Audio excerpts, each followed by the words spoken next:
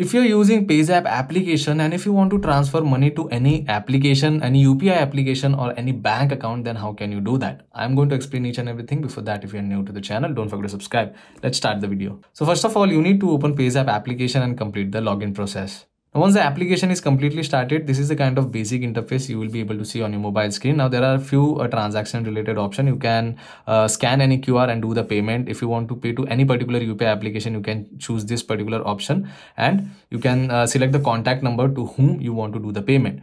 Now, next thing is if you want to pay to any bank account, you can select to account option over here and then you can uh, simply select the bank account to which you want to transfer the amount. You can enter the bank details and you can do the transaction. If you want to do self transfer that uh, if you want to transfer from your one bank account to another, you can choose self transfer option. So this was one way of going into send money option. Next is if you directly want to do bank transaction, you can select bank transfer over here and in to account, as I told you, you can select the bank account to which you want to do the payment. So in my case, I'm going to search the bank. So let's search for IndusInd Bank over here. And this is the bank. After selecting the bank, all you have to do is you have to enter the account number of the person to whom you want to transfer the money.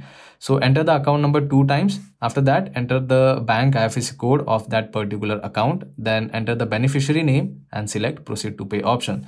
So I'm going to fill up all the details very quickly and I'll show you. So after entering the details, all you have to do is you have to select proceed to pay option. And on the next page, uh, you can uh, basically check out the account of that person and you have to enter the amount. In my case, uh, I'm going to enter 500 for now. And if you want to know the maximum limit, if I try to enter 2 lakhs over here, you can see it will show you a message that enter an amount less than or equal to 1 lakh. So either you can transfer 1 lakh or below that. Not uh, possible if you want to transfer an amount uh, above 1 lakh, that is not possible.